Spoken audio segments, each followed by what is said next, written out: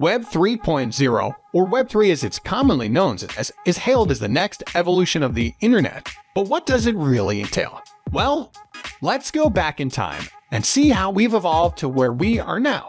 Before that, if you are new to this channel, welcome to Crypto Master, and don't forget to press the subscribe button and hit the bell icon for instant notification. Web 1.0 was essentially a bulletin board where people could create read-only text threads. In other words, the early web allowed us to search for information and read it.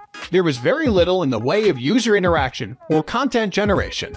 Web 2.0 changed this by adding multimedia and allowing users to interact with websites as if they were applications. This gave birth to the social media revolution as Facebook and Twitter are prime examples of Web 12. Web 3.0 is still a work in progress, however, is expected to be implemented with four main principles open, which means it's open source and in full view of the public, and trustless, which means interacting without an intermediary, permissionless, meaning anyone can engage without permission from controlling organizations, and ubiquitous, meaning internet for all. Let's make this easier with an example. Apple Siri is a perfect example of a key component of Web 3.0. Using this technology, Siri and other personal assistants communicate, share information, and provide users with more helpful search results for every meaningful query, including how to, why, and what. Previously, Siri could accomplish only simple tasks, like reminders and directions to the local grocery store.